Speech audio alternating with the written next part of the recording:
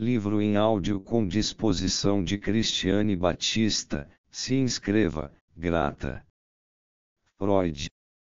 As manifestações sexuais masturbatórias. Só pode alegrar-nos sumamente descobrir que, uma vez compreendida a pulsão vinda de uma única zona erógena, não temos muito mais coisas importantes a aprender sobre a atividade sexual das crianças.